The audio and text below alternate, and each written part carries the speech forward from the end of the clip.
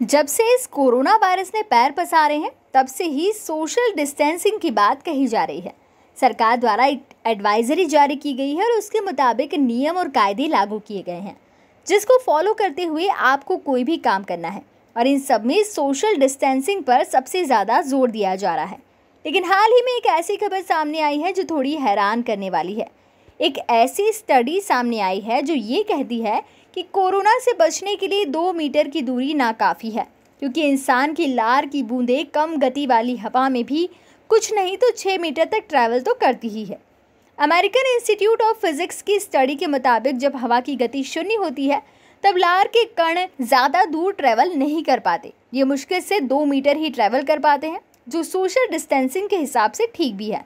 लेकिन जब हवा की गति चार किलोमीटर से पंद्रह किलोमीटर प्रति घंटा की रफ्तार से चलती है, तब ये लार के कण दूर तक जा सकते हैं, जो कि सोशल डिस्टेंसिंग के लिए सही नहीं है, क्योंकि हवा की स्पीड के साथ लार के ये कण सिर्फ़ पाँच सेकंड के अंदर ही छः मीटर तक ट्रैवल कर सकते हैं, जो कि नुकसानदायक हो सकता है।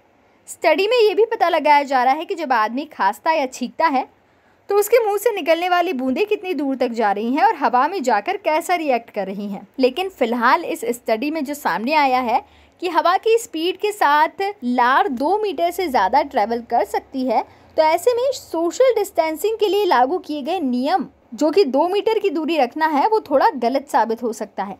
हालाँकि अभी भी इस पर रिसर्च की जा रही है और सभी चीज़ों को सोशल डिस्टेंसिंग के अनुसार समझने की कोशिश हो रही है। Subscribe our channel and press the bell icon for more updates